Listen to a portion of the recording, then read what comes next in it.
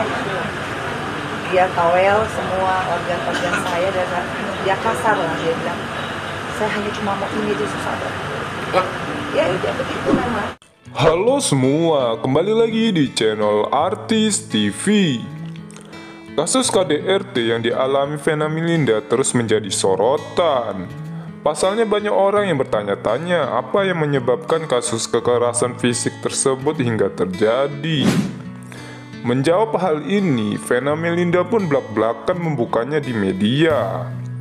Betapa mengejutkannya, ternyata hal tersebut dimulai dari masalah yang sederhana.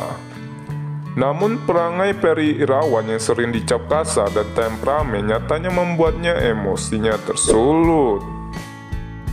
Hingga menyebabkan Vena berlumuran darah dan melaporkan kejadian ini ke Polda Jawa Timur.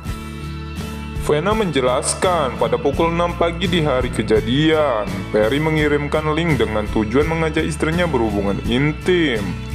Namun kala itu kondisi kesehatan Vena sedang tak baik karena asam lambungnya kambuh sehingga keinginan Ferry Irawan tak bisa dituruti. Tapi saya sedang lelah dan asam lambung lagi kambuh jadi tidak keturutan kata Vena. Namun sayang, alasan Vena tak bisa diterima oleh suaminya hingga membuatnya kesal dan berbuat kasar terhadap bagian organ intim milik perempuan berusia 50 tahun tersebut. Dia toel-toel semua organ intim saya dengan kasar tutur Vena Melinda. Tak hanya melakukan hal kasar kepada tubuhnya, rupanya Perry pun melontarkan kata-kata yang bernada melecehkan.